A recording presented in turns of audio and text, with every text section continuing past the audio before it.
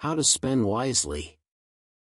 A lot of you will be receiving your salary or sales bonus. This is my question. Has your financial status improved this year compared to last year? Does your goal of paying your debt, get some savings or do a little investment come to a reality? We know how difficult it is to earn a living so it is important to be wise in our spending. The American actor Will Rogers who became popular in the 1930s said something about unwise spending. This is what he said, too many people spend money they haven't earned, to buy things they don't want, to impress people they don't like. How do we spend our money wisely? 1. Wise spending does not result in huge debts. If you are a wise spender, you ought to be out of huge debt that you can hardly pay. Romans 13 verse 8 clearly says this, Let no debt remain outstanding, except the continuing debt to love one another. It is stressful to think about too many debts. That is why think twice before using your credit card, especially if you have a lot of payables from the previous purchases.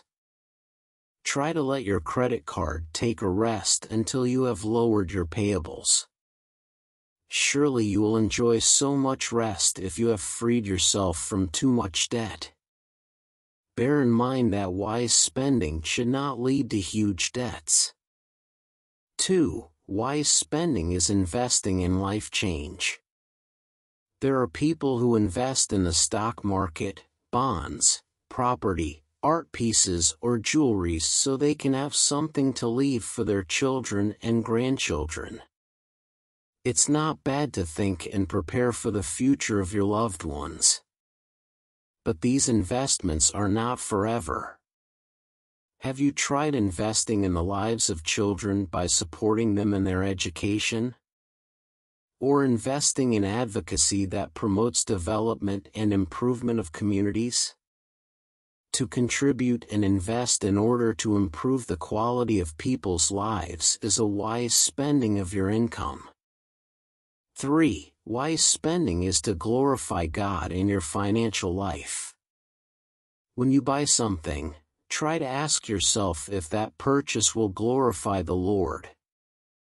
The reminder for us from 1 Corinthians 10 verse 31 is this, So whether you eat or drink or whatever you do, do it all for the glory of God. I believe shopping is included in this there are a lot of reminders from the Bible about money management. Our self-control, integrity, and faithfulness to God is tested in our spending. Are you a wise spender? Remember this, wise spending does not result in huge debts. Wise spending is investing in life change.